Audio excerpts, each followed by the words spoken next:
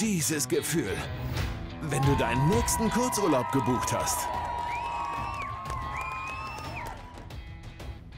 Die besten Ideen auf kurzurlaub.de. Zwei bis fünf Tage frei. Ja, wir begrüßen einen weiteren Neuzugang hier beim 1. FC Magdeburg, Alexander Bittroff. Heute ist offiziell geworden. Alex, wie froh bist du jetzt hier beim 1. FC Magdeburg gelandet zu sein?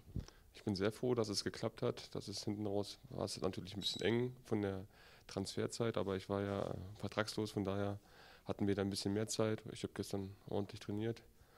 Ähm, ja, und freue mich jetzt hier zu sein.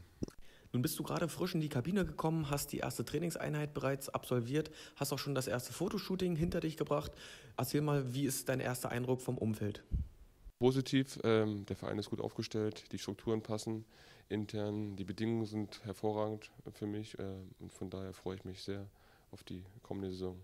Du bist schon ein erfahrener Spieler, ja, mehrere Stationen liegen schon hinter dir, ordentlich Erfahrung gesammelt. Wo siehst du deine Rolle hier im Team?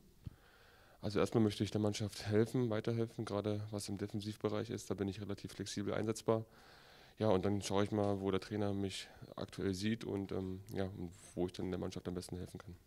Da du ja ein erfahrener Spieler bist, warst du auch schon ein paar Mal als Gast hier in Magdeburg. Was hast du für Erinnerungen an den Verein, an die Fans? Wie sieht es da aus und äh, weckt das auch gewisse Vorfreude? Es weckt auf jeden Fall Vorfreude. Also jedes Mal, wenn ich hier gespielt habe, war hier die Hölle los.